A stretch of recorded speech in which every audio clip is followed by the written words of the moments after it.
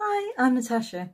Do you have a child who loves writing stories, who dreams of being an author or journalist one day? Great.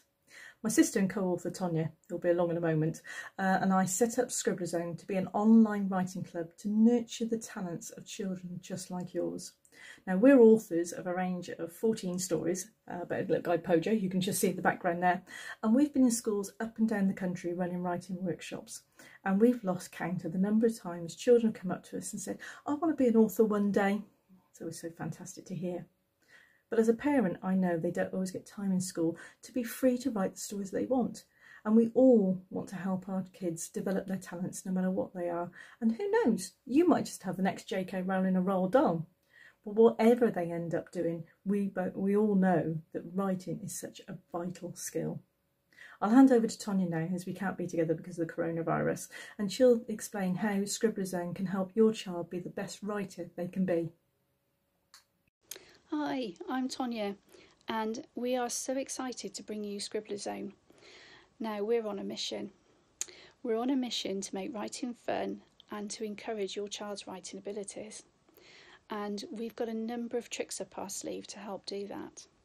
So, to start with, we'll do things like set them some weekly writing challenges where we'll be giving them some story starter ideas so they'll never be short of a story idea again. We'll also give them the chance to be a storytelling superstar in our monthly writing competition. But not only that, they'll also get the chance to be a published author because at the end of the year we'll be publishing the best of those stories uh, in an annual anthology. We'll also be talking to lots of other authors and people within the publishing industry so they'll be getting lots of insider knowledge and some great writing tips from those people. Now, we're finding that kids who are members of Scribbler Zone are progressing so much faster with their writing, but more importantly, they're having lots of fun with it. They're more fulfilled because they're getting a chance to really fulfill their passions.